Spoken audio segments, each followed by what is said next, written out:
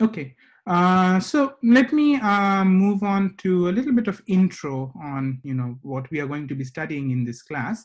Uh, so this class is of course about uh, optical cavities, right? So that's the title. Uh, so as all of you might know from mm, you know basic EM courses, so optical cavities or electromagnetic resonators are in general devices that can confine light to small spatial regions, right? So, so the idea is to design some kind of a dielectric distribution in optics, but in different wavelengths, you have different strategies, but somehow be able to uh, design some kind of a permittivity distribution that is able to confine light in very small uh, volumes, right? So that is essentially the definition of an optical cavity from a very loose uh, standpoint, right? And we'll spend the entire class studying about how optical cavities behave, what are their essential properties, what are some theoretical and uh, you know, analytical models for understanding how these optical cavities um, would respond to incident electromagnetic fields. Uh, but generally speaking, if you were to qualitatively describe two things that happen as a consequence of confining light into small volumes, and that is one of the reasons why there is a lot of technological interest in optical cavities, is that A, the first thing that happens is that you achieve resonant behavior, right? So uh, what you end up achieving is an electromagnetic structure that responds very strongly to certain wavelengths of light. Uh, or certain frequencies, and an electromagnetic structure that doesn't really respond strongly to most other wavelengths or frequencies, right? So you have this strongly resonant response, um, and this response is a consequence of you uh, confining something that satisfies a wave equation in small spatial volumes, right? So it's implicitly due to the wave nature of light, and then confining them in small spatial volumes results in this resonant behavior. And just from a linear optics perspective, so at this level, when we're talking about resonant response, we're not even talking about any nonlinear effects yet.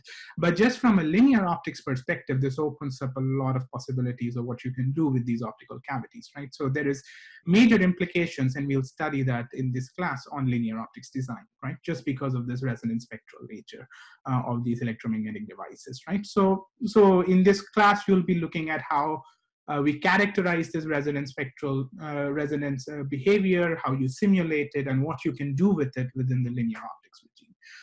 So the second implication, which perhaps is somewhat more direct, uh, which we'll explore to in the second half of this class, um, is the fact that when you're confining these fields in very small volumes, you end up invariably enhancing any nonlinear effects, right? So you enhance light matter interaction. So you're able to get nonlinear optics at low energies, and you also open up the avenue for quantum optics, right? Which fundamentally relies on interaction of these electromagnetic fields, uh, strong interaction of these electromagnetic fields with you know these localized quantum systems, um, and a lot of rich physics emerges uh, when you're when you when you study these um, localized interactions of light with uh, materials, both classically and in, and in the quantum regime.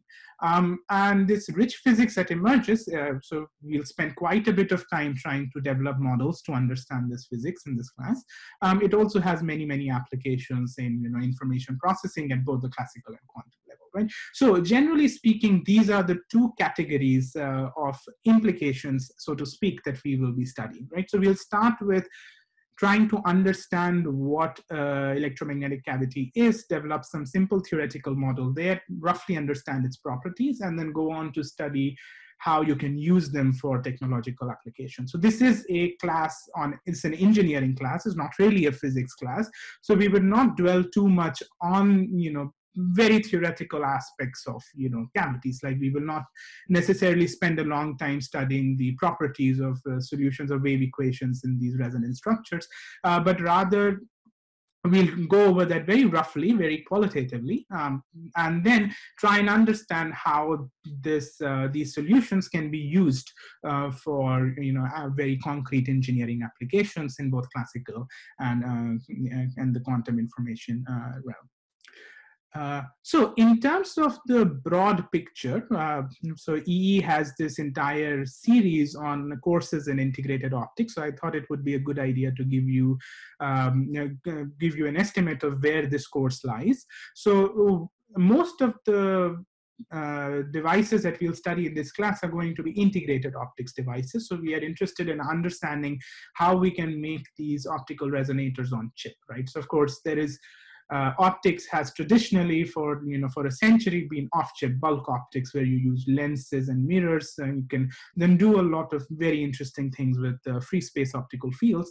Uh, but then there is a technological driver to compactifying those uh, devices and putting them on chip right? Because you want to be able to uh, use the fabrication techniques to fabricate you know large optical systems and you want things that are robust and so on right? So all of these uh, technological motivators want us to pack these devices on chip. And when you go on chip, although the essential physics that you're exploring might seem very similar, um, the, uh, the design of these devices becomes a completely different ballgame. So you have to start understanding uh, different physical mechanisms that can give you these resonant responses. And there are a lot of different engineering trade-offs that those physical mechanisms are accompanied by.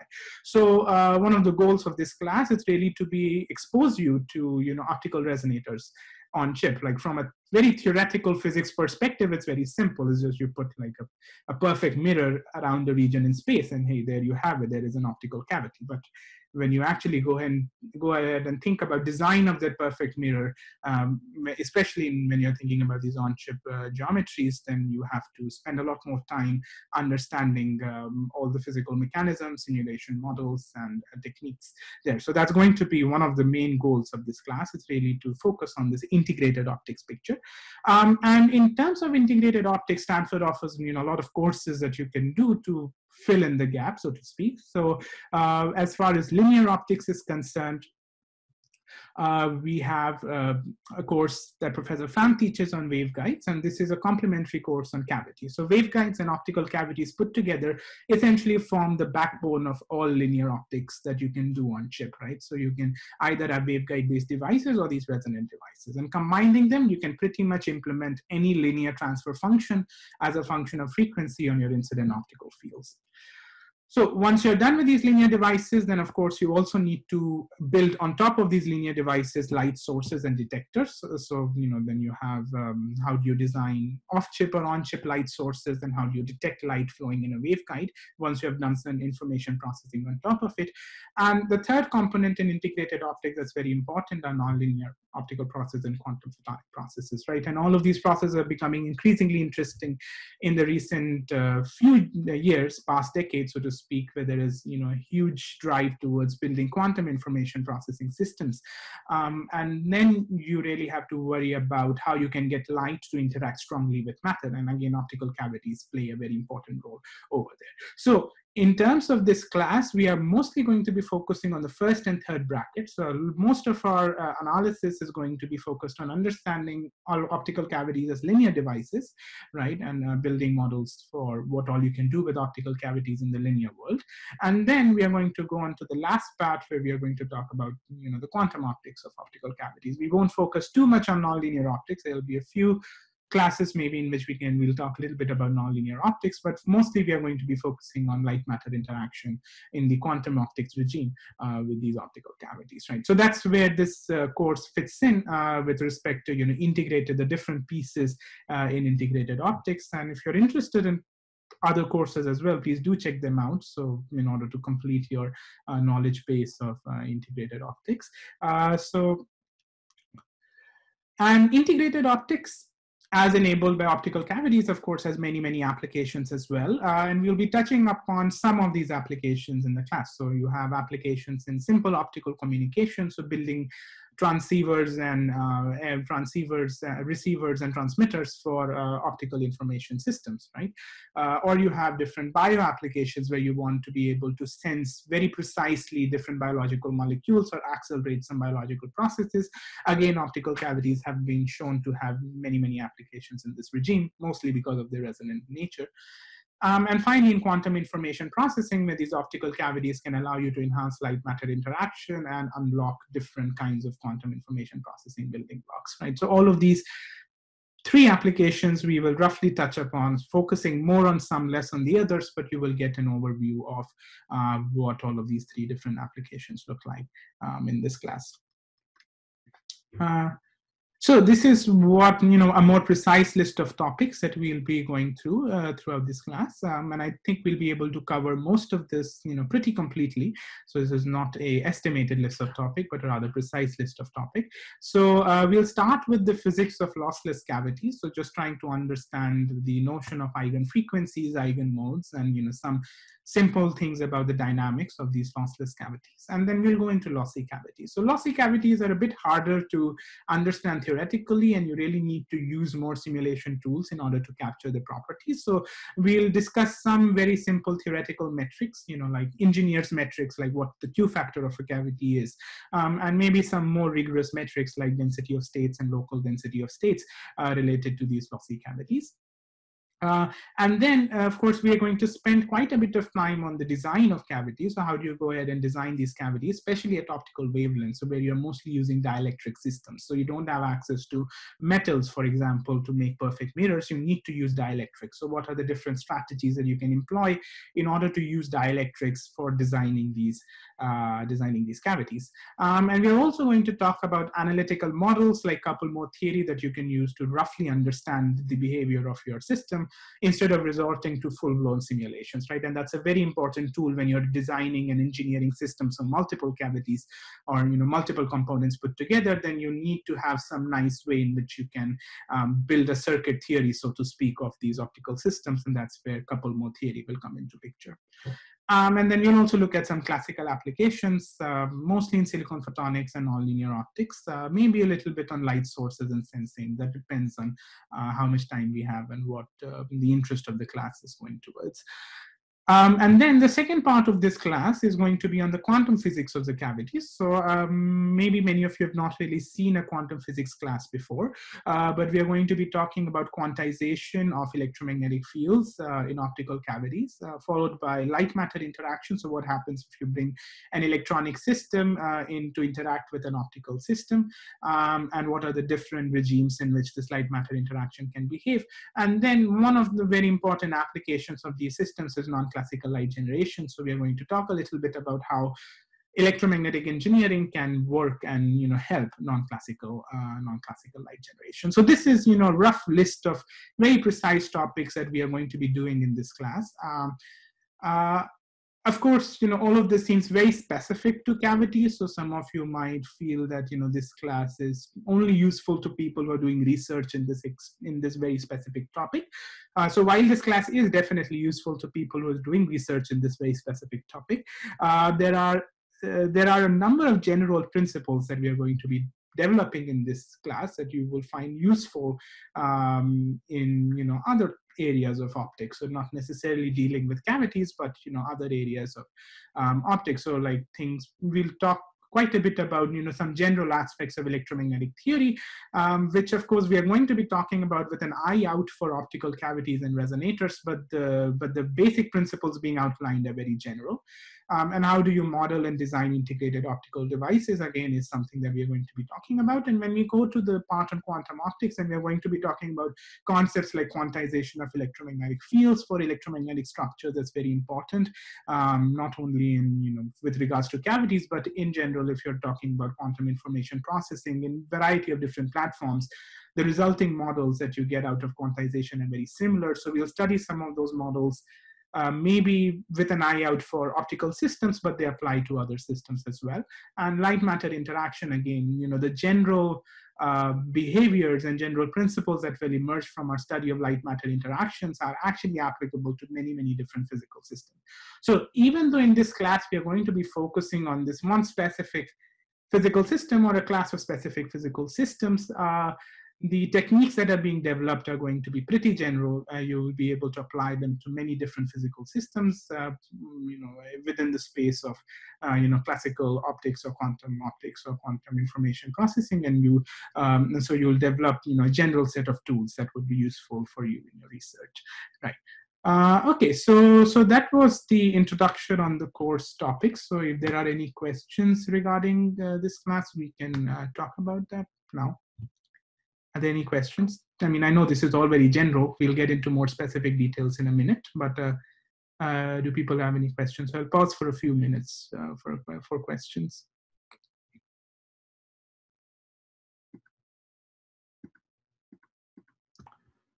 Okay, no questions? Any questions on homeworks, logistics? Uh, okay, not really.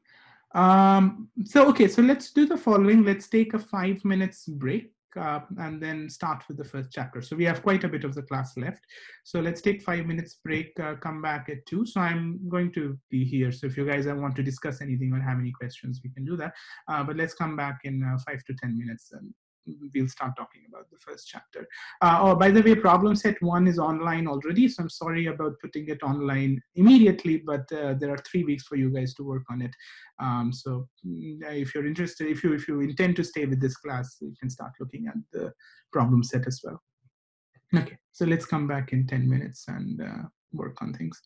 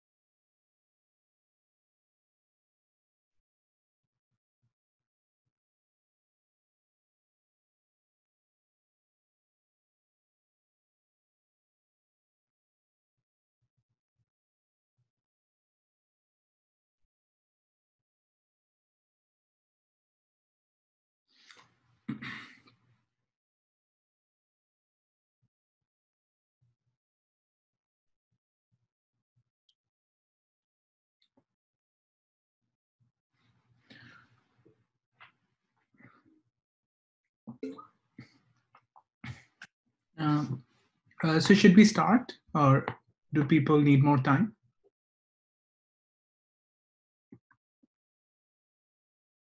Okay, uh, we can start. Okay, so let's start uh, now. So uh, in the lectures, we are going to be following the course reader pretty closely. So uh, you should keep an eye out on the course reader uh, for any information that you miss in the lectures. And as we said, the lectures are going to be recorded, so that shouldn't be too much of a problem. So what I'm going to do uh, today and next class is give you a very rough idea of the um, chapter one of course reader, which is classical physics of cavities. So um, this is the only part of the class where we'll talk about these lossless cavities. They are somewhat of an idealization, but they help us understand some basic physical concepts uh, quite easily. Now, we will keep this to a mathematical minimum uh, because uh, when we are discussing lossless cavities, there are many levels of rigors that we can do it at. So we're not going to go into too many rigorous details, but rather think of it as an engineer's introduction to uh, these lossless cavities and more of a uh, focus is going to be on understanding the basic physical properties so that we can uh, apply this to the lossy cavity case. Um, and then uh, towards the end of this chapter, we are going to mostly talk about a little some metrics related to lossy cavities. Okay, so um, uh, as far as the course reader is concerned, so there are two chapters that have been uploaded. So there is a chapter zero, which is, you know, review of ENM. Um, and this chapter essentially goes through basic Maxwell's equations, uh, you know, general properties, plane waves, and so on. So things that you might have seen in a basic ENM class. So we are not going to cover this in the lecture. So I'm happy to answer questions about this in office hours if some of you are not very familiar with this material. Um, but uh, you should try and go through this chapter on your own and figure out if there is some part that you're getting stuck at. Uh, so the last section of this chapter is on the T-matrix method uh, which you need to implement in your first homework. So definitely see the uh, last section um, and try and implement it in the first homework. Okay, so we are going to start with chapter one, which is um, uh, classical physics of cavities. Okay, so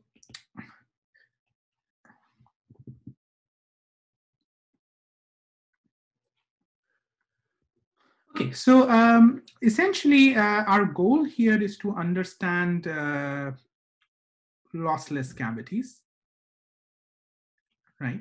So cavities that are, so to speak, perfect confiners of light, right? So, um, so how do you make a lossless cavity? But very roughly speaking, as you know, I alluded to in the introduction, uh, what you essentially do is take an ideal mirror um, and surround a closed region of space in it.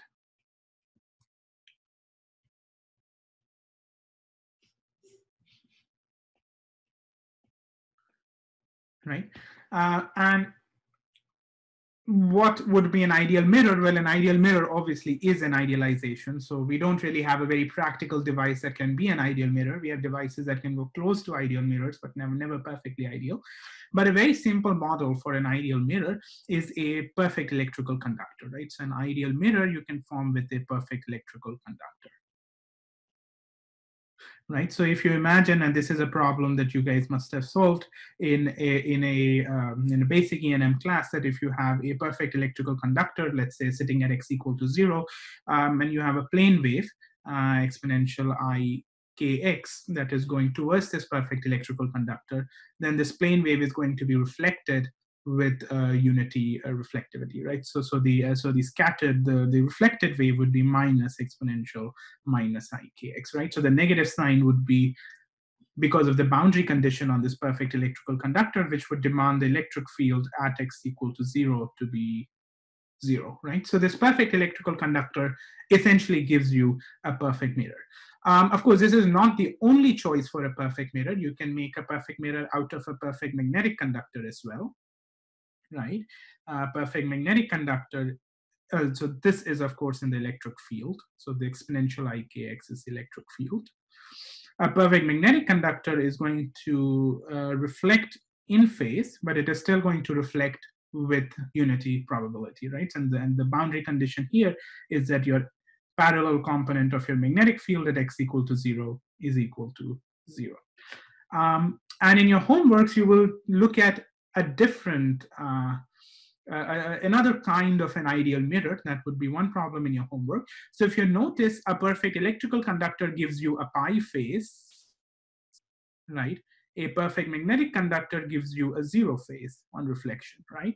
So you could ask a question of like what boundary condition would give me a phase, uh, a phase as determined by, let's say, some kind of a design, but this is a model for an ideal mirror. So suppose I ask myself a question, right? So if I have a mirror which on exponential ikx ending in a plane wave gives you exponential minus ikx plus phi, plus exponential i phi. So it gives you a phase phi on reflection. What kind of a boundary condition is this described by? So this is described by what is called an impedance boundary condition. And you're going to study this in your homeworks, uh, which is of the form of, uh, you know, alpha e at x equal to zero plus beta de by dx at x equal to 0 is equal to 0. So this is again a boundary condition that gives you a perfect phase, but it doesn't give you a 0 or a pi phase. It gives you a phase that depends on the coefficients alpha and beta. And you can see that if you take set beta to zero, you get a perfect electrical conductor. If you set alpha to zero, you get a perfect magnetic conductor, right? Because you're either setting the derivative of V to zero, which is proportional to the magnetic field, or you're setting the electric field to zero, which is proportional to, which is the electric field, right? So, so this boundary condition interpolates in between a perfect electrical and perfect magnetic conductor and allows you to access models for perfect mirrors um, with arbitrary phase. So you can use any of these boundary conditions and you can then imagine forming a cavity by placing mirrors all around a specific region in space, right? So let's take a very simple 1D example. Um, so let's take a very simple 1D example. Right? So in 1D, for example, you're going to be putting one mirror, uh, you're going to be putting two mirrors, uh, of course, at x equal to zero and x equal to L, right? So this gives you, you know, what is called a Fabry-Perot resonator.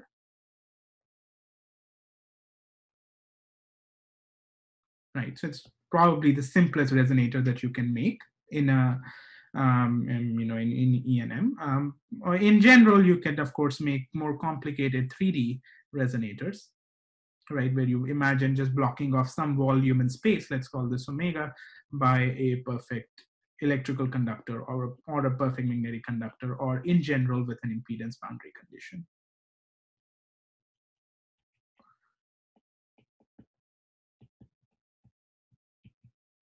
Right? So now, if you attempt to solve the properties or solve the Maxwell's equation subject to these boundary conditions, which are essentially being applied to all uh, to, to the entire surface of a, of a of a spatial region inside the cavity. So in 3D, it's a volume. In 1D, it's a line segment, and you have boundary condition at the endpoints. In 2D, it's an area, and you have a boundary condition uh, on the uh, on the perimeter of that area um, then what you start getting are resonant modes of this uh, of the system, right? And that's a very very simple exercise to show. So, for example, let us consider the 1D cavity. Uh, so let's consider the 1D cavity and attempt to solve Maxwell's equations. So, well, we know that the Maxwell's equations is essentially in 1D is just a wave equation. So I have d2e by dx square plus omega square by c square e uh, is equal to zero inside the cavity right? And assuming we have a PEC boundary condition, right? So we have a boundary condition E of x equal to zero is zero and E of x equal to L is zero, right? And I'm sure this is an exercise you guys have done countless times in different courses. So I'll just very quickly go over this. So the solution of your of this differential equation um, essentially gives you a sine omega x by c plus b cosine omega x by c. And then you can impose a boundary condition that this is zero at x equal to zero and x equal to L. So E of x equal to zero is just equal to B and this becomes equal to zero. And E of x equal to L is a sine uh, omega L by C. And you choose to set the sign to zero. So you get omega is equal to n pi c by right? So these are the resonant modes or the resonant frequencies of a cavity, right? So what this immediately tells us is that as soon as I surround an entire volume in space by by perfect mirrors or perfect electrical conductor, magnetic conductor, or even with that impedance boundary condition, what you'll end up seeing is that if you solve Maxwell's equations in frequency domain and attempt to satisfy the boundary condition by electric field on the uh, on the boundaries, um, then you will end up having a situation where the frequencies that can exist inside this resonator are quantized. So you can only have certain frequencies, you cannot have arbitrary frequencies. And we'll talk about this a little bit more. There is a there is a slight subtlety to this notion that often gets missed in making the statements, but uh, the point is that the, uh, the eigenvalue problem of frequency domain Maxwell's equations when solved with these uh, perfect boundary conditions uh, gives you eigenvalues that are frequencies um, that are quantized, right? And this is what your frequencies uh, look like. Um, and you can, of course, corresponding, so I can label these frequencies by n. n stands for the, you know, the index of the eigenmodes, so to speak. And I can calculate what the electric field profile looks like corresponding to that n by just plugging this in here. So I have a sine uh, omega n x by c, that becomes a sine um, and pi x by L. So, so indeed, you know, this is a problem that you would have solved either in an E&M class or in a quantum mechanics class. So this is the same as the infinite potential well in quantum mechanics. And you get solutions which look exactly the same. Right, so so I have I have um, these sine-like solutions. So this is n equal to one, uh, equal to two, and you can sketch others on your own. Right. Um, now, of course, compared to quantum mechanics, although in 1D wave equation looks very similar, uh, one important point to make here is that electromagnetic fields are vectorial in nature, right? Electromagnetic fields are vectors.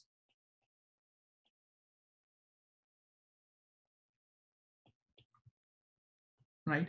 Um, and consequently, uh, for every uh, solution that I've written here, for every n, you will have two modes that can exist, right? So if you account for the polarization of the electric field in this 1D problem, so in the 1D problem, you have a rotational symmetry along x-axis.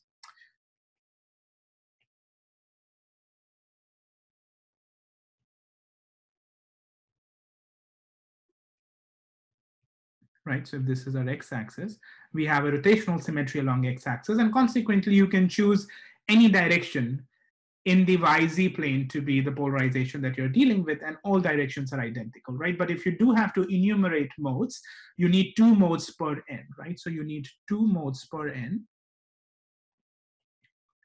per n. Let's say one corresponding to polarized along the y-axis. So one is E is parallel to y hat, and one is E is parallel to z hat. And both of these modes have exactly the same resonant frequencies because this problem is symmetric along the uh, um, on rotation along the x-axis, right? So this, these are two degenerate modes. So degenerate is another term that you'll hear quite a lot in this class. Uh, degenerate essentially means that you have the same values of same eigenvalues. In this case, in our uh, in, in the context of electromagnetic cavities, eigenvalues refer to the frequencies uh, of your modes. So degenerate means they have the same uh, eigenfrequencies. And in this particular problem, um, the two polarization modes have exactly the same uh, eigenfrequencies, right? Uh, now, there are two important properties of these modes that are extremely useful in a lot of um, in understanding the physics of these systems very carefully, right? And even when we go to the quantum sections of this class, we're going to come back to these properties and use them. Um, and that is the properties of orthonormality of modes. So that's one property, and the other property is completeness. I'll come to that in a minute. And what the orthonormality of modes essentially says is that if you take the electric field due to two different modes, right? If you take the electric field due to two different modes, so for our 1D problem, you can we can explicitly verify that if I take electric field due to let's say n, and if I take electric field due to m, and I integrate it across the length of the cavity, I get a zero if n is not equal to m, right? So if I'm looking at two different modes, then their inner product, which is defined based on the problem that you're looking at, so I'll come on, comment on this in a minute, but their integral in some sense, there is some inner product that you can form that gives you a zero, right? So this is called, this is the orthonormality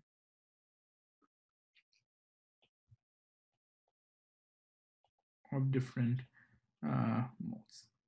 Okay, and as we'll see in a minute, when we are looking at the dynamics of the cavities, right, when we are looking at how electromagnetic fields will evolve inside a cavity, this orthonormality essentially implies that the electromagnetic field for different modes uh, evolve independently of each other. So you can kind of describe your electromagnetic fields on a basis where you choose to represent them on different modes and, and independently and, and, the, and the coefficients of these different modes, so to speak, will decouple uh, when we consider the dynamics of an electromagnetic cavity. So we'll come to that point. So I just write it down here. So this, this, uh, this implies that the modes are physically independent, so to speak.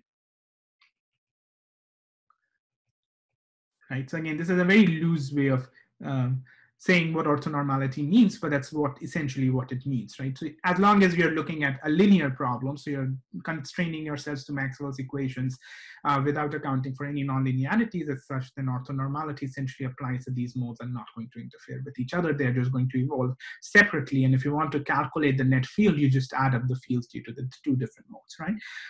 Um, the second property is completeness. Um, now, uh, this is uh, a rather technical property, so I don't want to go too much into the details of you know what we precisely mean by completeness of these modes. That would take us on a, a somewhat of a tangent uh, relative to this course. And for the purposes of this course, right, um, and this is you know how physicists deal with this completeness issue all the time, um, is that we will just assume uh, a statement that we are going to make here is that if you look at any physical field that can be created inside the cavity, so so imagine you know you imagine imagine you have a current source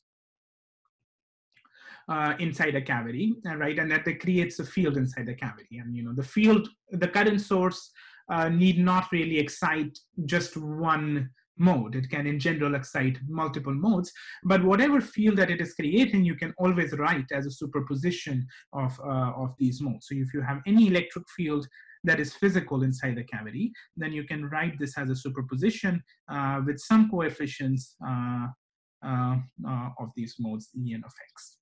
Okay, uh, so this is a completeness property. Um, and of course, by physical, one immediately means that this has to respect boundary conditions right? So the field that you are trying to write as a superposition of these modes needs to be, let's say for a PEC cavity, it has to be zero on the boundaries of the PEC cavity. For an impedance boundary condition, it has to satisfy the impedance boundary condition. Uh, but as long as you respect this boundary condition, you would be able to find these coefficients that, uh, that make this um, exact, right? Um, now, I call it physical, but that, that is actually very restrictive. So if you study these properties more in detail, what you will realize is that this, actually the electric fields don't need to be differentiable per se to permit such a representation. Um, so they're not, so not, they don't necessarily need to be physical. So there are, you know, mathematical caveats here. Uh, but as far as, uh, you know, for the purposes of this class, mm, from an application standpoint, we are concerned, any electric field that you're going to encounter, if it happens to be inside a lossless cavity, you should feel free to do this decomposition without thinking about it, right? Um, of course, if you're doing a mathematics class, you might have to think more about it, but not in not in our class, right? So, so this is, uh, from our perspective, any electric field inside a lossless cavity can be written as such, right? Of course, we're not going to be studying lossless cavities for the majority of this class. We're going to go on to lossy cavities and so on, where you know all of these notions break down a bit. But if you're working with lossless cavities, uh, this holds. Okay, um, and uh, so of course, uh, you know, these I have written is for the PEC cavity under question. So this is for the PEC cavity uh, Fabry-Perot, right? Uh, when you are looking at uh, more general problems, so if we consider a more general problem,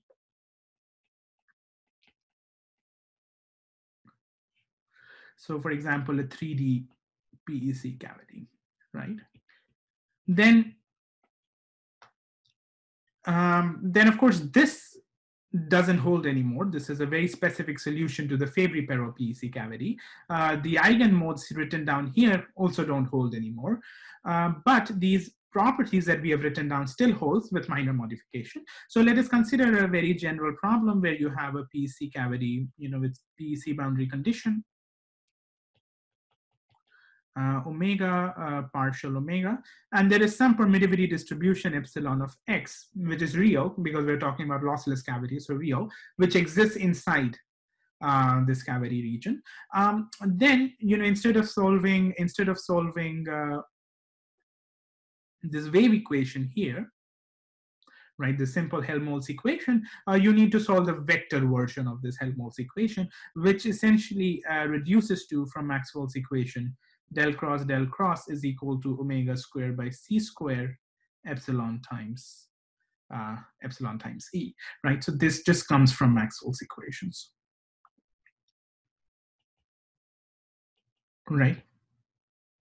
I mean, if any one of you have any questions, please feel free to uh, ask me. I would like to keep these as interactive as possible. It's somewhat of a hard task given our medium of communication, but if you find that any of the things that I'm talking about are not familiar, you haven't seen them before, please interrupt me and ask, right? So a lot of the things that we are doing right now are basic electromagnetics. So I'm not going, I'm not going to derive everything, but if you're in, if you want to know more details, please, you can message me privately on chat as well, um, and we can go through stuff in more detail. Okay, so this comes from frequency domain Maxwell's equations right? So it's a vector wave equation. It's very similar to um, you know the scalar wave equation. It just happens to be a little bit more complicated. And if you solve this subject to boundary condition, right, which is essentially that E um, that it's a PEC boundary condition, so E parallel uh, on partial omega vanishes. right on the on the surface which is partial omega vanishes so this is the surface right then you end up again getting a very similar property that your resonant frequencies only take certain discrete values, right? So there are very few problems in which you can solve these discrete values analytically, um, but uh, you can numerically solve this problem for almost arbitrary surfaces, right? There are different formulations that you can use to solve this eigen problem numerically.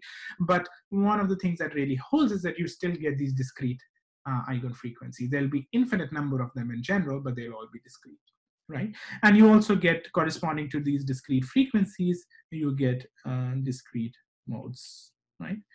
And these modes again satisfy an orthonormality condition, but that orthonormality condition now is not a simple integral. So this was in the case of a 1D PEC Fabry-Perot cavity, uh, but in a more general case, these conditions essentially reduce to um, something like this. Or let's say if I index them by n uh, and I have m of x and I integrate this over the entire volume, this is equal to delta n comma m. Yeah, it's a question. Um, so uh, why do you emphasize you are dealing things inside the frequency domain and solve the eigenvalue equation?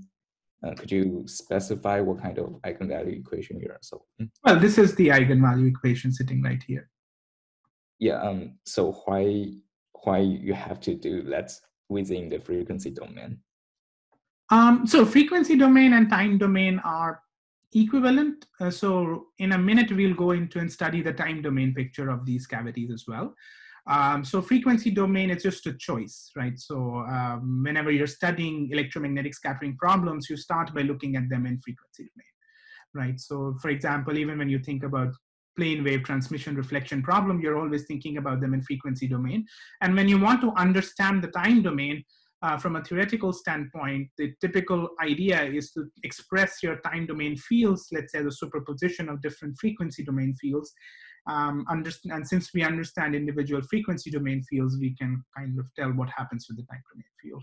So this is just a choice uh, for now. So for now, let's just say that I choose to study the frequency domain properties. In a minute, I will connect them back into the time domain properties, and then I think uh, it'll be much clearer. Uh, does that answer your question? Yes, yes. Okay, are there any other questions? So if I'm going too fast or too slow, you have to tell me. Um, uh, any other questions or all of this is fine? No questions? Okay. Uh, excellent. So anyways, feel free to interrupt me. Otherwise, I feel that we'll finish this course in half the time that is allotted for this class uh, if you guys don't interrupt. Of course, the problem sets will then be a struggle. So that's not as good as one would imagine. So please feel, feel uh, please feel free to interrupt me with any questions. Okay. So, so this becomes the orthonormality condition for the modes uh, of our cavity. Uh, so there is a proof of this in the course reader. So I'm not going, so you can read that proof. It's a very simple proof. It requires, well, proof as in, you know, heuristic proof of sort, not a very rigorous proof because that's it's more complicated. Uh, but there is, you know, a rough sketch of how you would go and prove this in, uh, in, in the course reader. So you can read the course reader for, um, uh, for more precise details on where this comes about. Um, but this is a property that is generally satisfied for you know these lossless cavities right? So you have discrete modes and these discrete modes are orthogonal to each other. And uh, so this is the orthonormality property.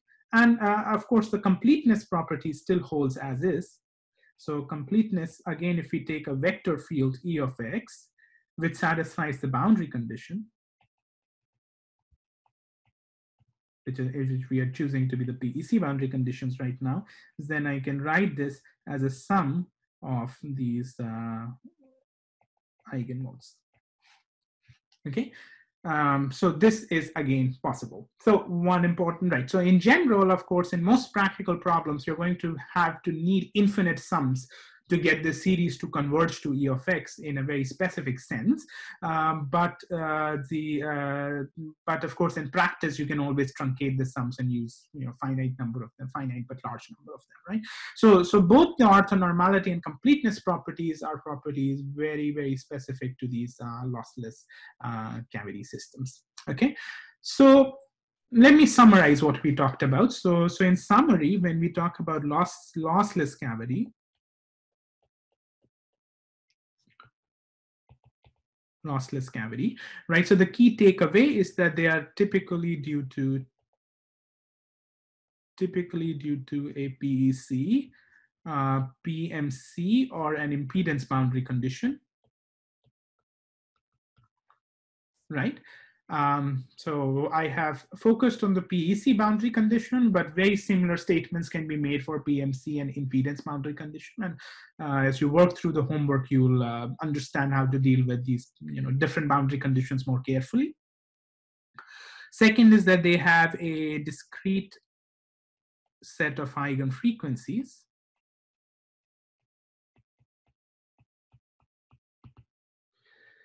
sees on solving the frequency domain problem.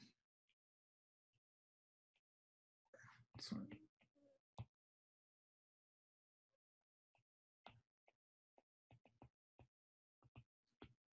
Right, and then the modes, uh, the electric fields, or rather, um, electric fields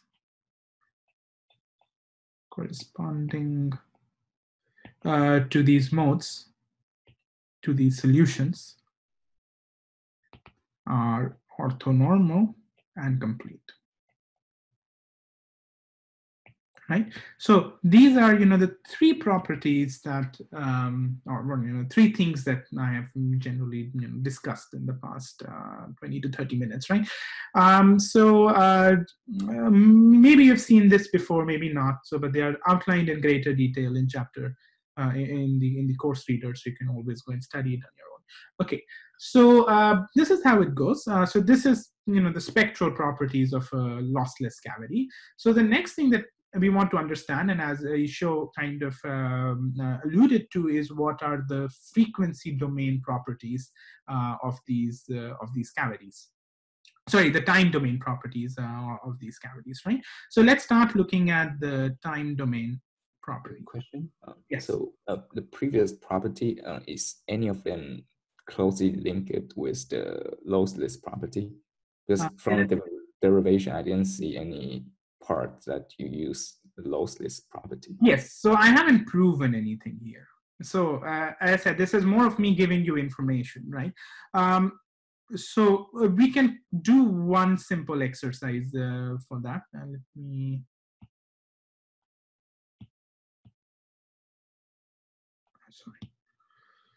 let me try and add page. Okay, so so we can do one simple exercise. So for example, um, so how do we prove this for um, not the full problem, but maybe for a simple 1D problem? Right, so this is a very standard technique uh, for proving uh, these orthonormality. Uh, so let's say we take two modes so in 1D, first of all, so 1D, we are working with simple wave equations with omega square by c square uh, epsilon of x uh, e of x is equal to zero, right? So let's consider a problem where you have PEC boundary condition at x equal to zero, uh, at x equal to L with some permittivity distribution in the middle right? So this is not a problem that you can in general solve analytically, but the orthonormality condition still holds. So how does that happen? So this is a simple proof of orthonormality, let's say. So, so you can consider two modes, d2 en by dx square plus omega n square c square epsilon x enx is equal to 0, uh, d2 em by dx square plus uh, omega m square by c square epsilon x emx is equal to 0. So what you could do is you could take the first equation, uh, multiply this by em of x, and then integrate. Right?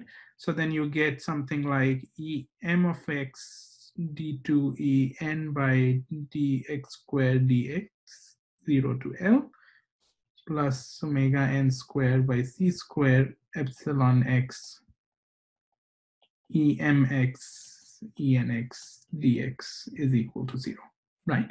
And you can do the same thing with the second equation but you multiply with enx and integrate right? So then you get 0 to L enx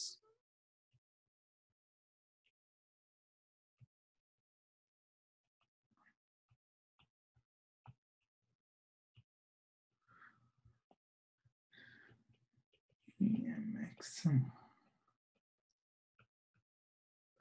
Right.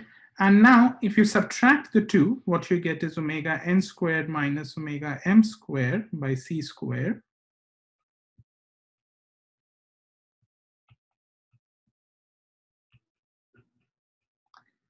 dx plus an integral 0 to L emx d2 en by dx squared minus enx d2 em by dx squared dx is 0, right?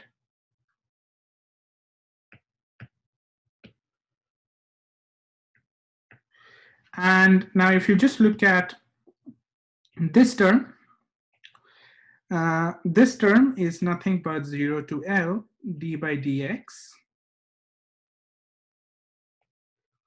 dn by dx minus en and dem by dx. Right? So this is very easy to show. If you just open up this derivative, you'll get what's on the top. And what you immediately see from here is that this actually evaluates to the difference, because this is the integral of a derivative, it evaluates to the difference of this quantity inside the integral. Um, evaluated at the two endpoints, so on the surface of your cavity, so to speak. So you get Em uh, of L, the derivative of En at L,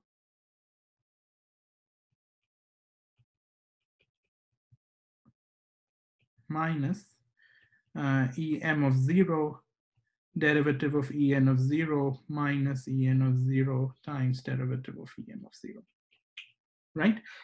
So now if you're working with a PEC problem, for example, if you're working with a PEC problem, then you can see that the electric fields at L are vanishing, electric fields at zero are vanishing. So for a PEC problem, right?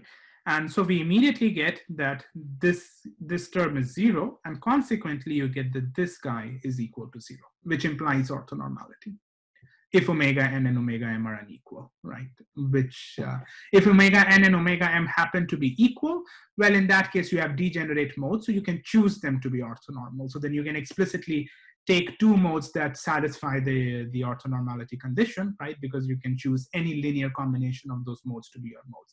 And that, that would be just like the case where you're choosing two polarizations as your modes as opposed to two polarizations that are not orthonormal to each other, right? But if omega n and omega m are not equal, then this immediately implies that this integral vanishes right?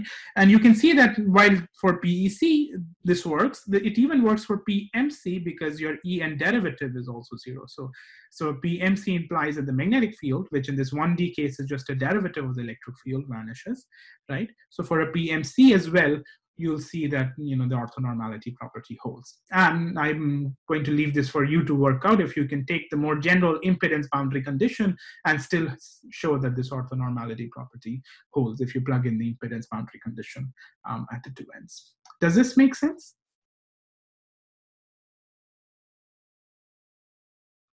Is this is this clearer now? Uh, yeah, yeah. Right. So, so the boundary conditions are intimately linked with this property, of course. Um, so while I've shown this to you for a very simple, uh, you know, 1D problem, uh, you can repeat a very similar exercise for this 3D problem. You will need to use by parts for these, you know, more complicated vector functions, but uh, it is it is it is literally following the same process. Um, okay. Now, any other questions here?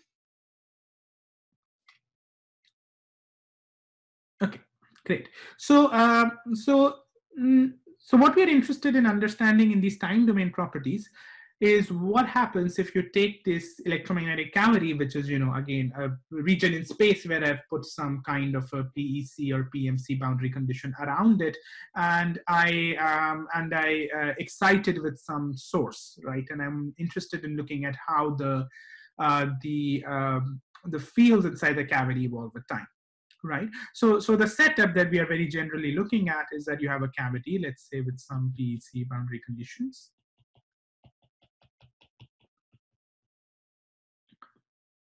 Okay, um, and I put a source j of x inside. And let's say this source is a function of time right? So we are, we are in general considering a problem where things are changing with time. And I'm interested in understanding how the electric field inside the cavity. Uh,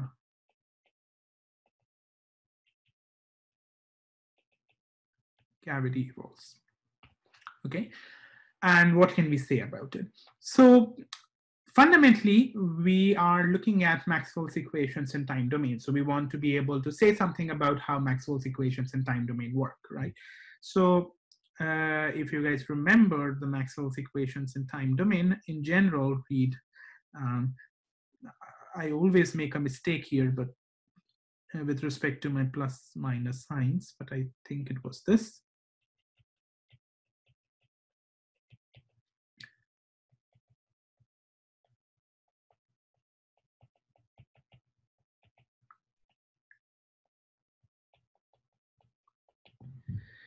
Right? So you have these couple differential equations for electric and magnetic field that you're interested in solving, uh, which of course you could convert into a single different uh, par PDE for just electric field, uh, which is what is more convenient to work with, which is del cross del cross E of x comma t. Um, sorry.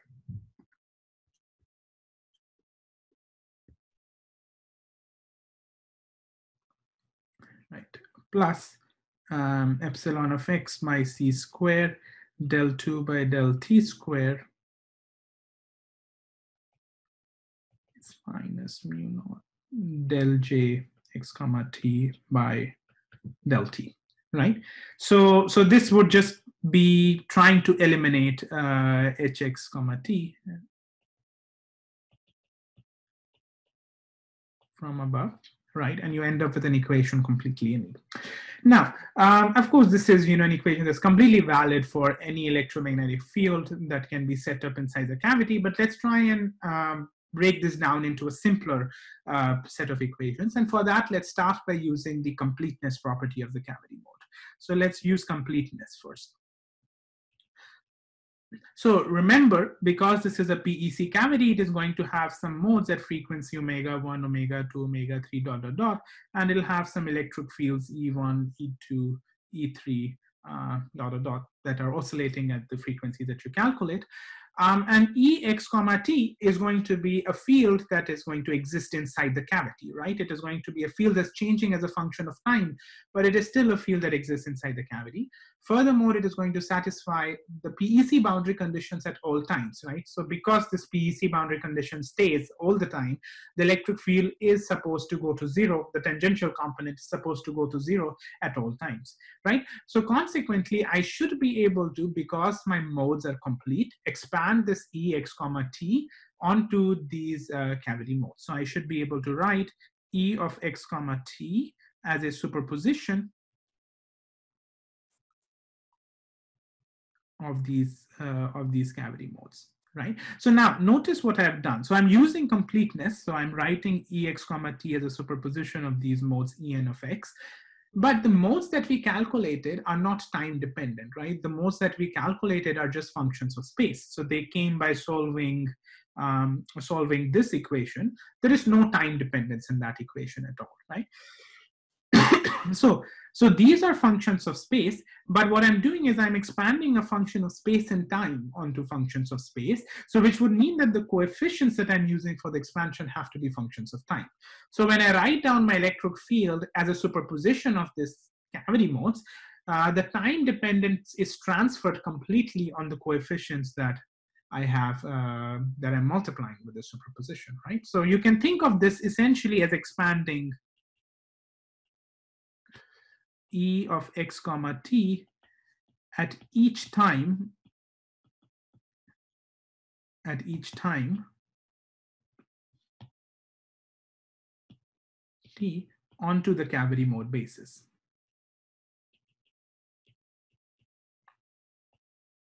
Right? And so consequently, the time dependence of the electric field is now captured by the time dependence of these uh, of of the coefficient by a n of t. Okay, so now when we plug this back in here, we should be able to translate this differential equation into a set of differential equations for a n of t, right? And that is actually done very easily. So uh, let's try and see what each of the terms is. So if you look at del cross del cross E, then this, because this is an operator that only acts on space, it only acts on space, this becomes an of t times del cross del cross en of x. And I know that this is just omega n squared by c squared epsilon x en of x, right? Because these e of x individually satisfy uh, our eigenvalue equation right here right? So del cross del cross is just omega squared by c squared times epsilon, right? And what about del 2 e by del t squared on e? Well, this is only, this only acts on time, so this is going to leave the del, the en of x untouched from here. So this is going to leave this portion untouched and just gives you double derivative of an of t multiplied by en of x right? So now if I plug it back into my original equation, so, so now plug these guys back here, what you end up getting is a sum over a n of t, uh, sorry,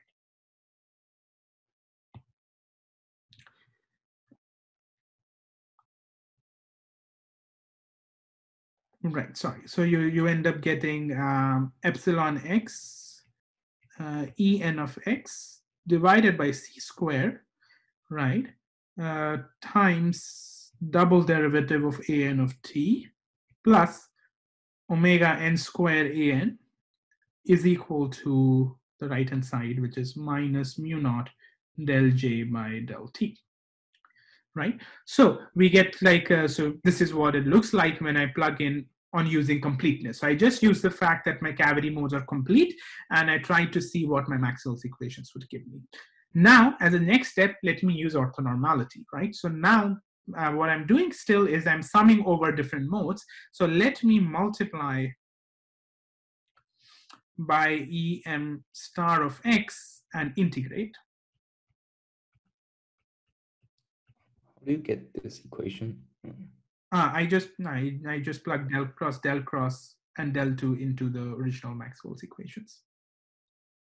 Uh, the previous one. Yeah, so this is what we are trying to solve, right?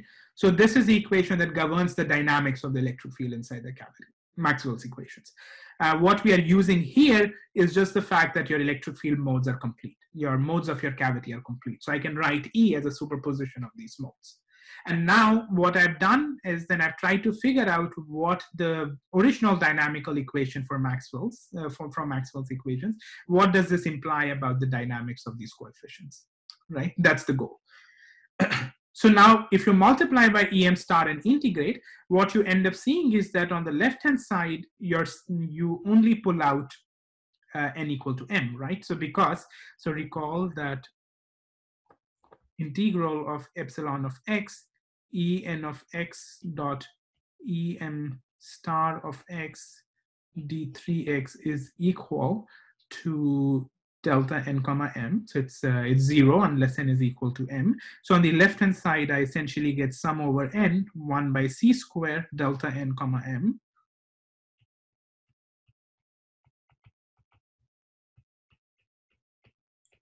is minus mu naught integral epsilon x em star dot del j by del t uh, d3x, right? So I just multiply both sides by em star x integrate and I use the orthonormality and what immediately this gives me is a simple dA, uh, because when I sum over delta n comma m, I'm obviously just picking out m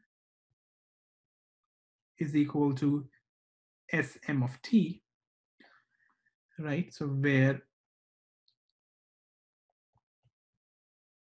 is minus mu naught c square integral of epsilon x e n star of x. Uh, sorry, we don't have an epsilon x here. Apologies.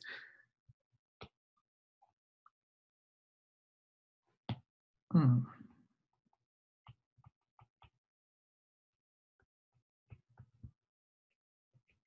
Okay, so this is what we end up getting.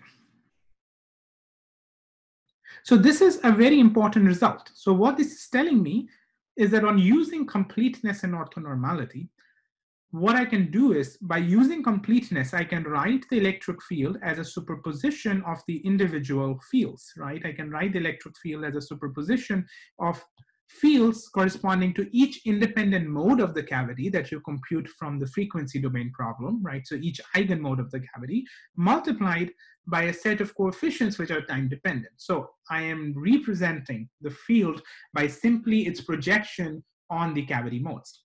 And when I look at what dynamics is implied by Maxwell's equations on these coefficients, right? So if I plug this, uh, this expansion into Maxwell's equations and look at what equation I get for a n of t, I get a simple harmonic oscillator equation. Right, so this is just a simple harmonic oscillator. So with each cavity mode, we can associate a simple harmonic oscillator.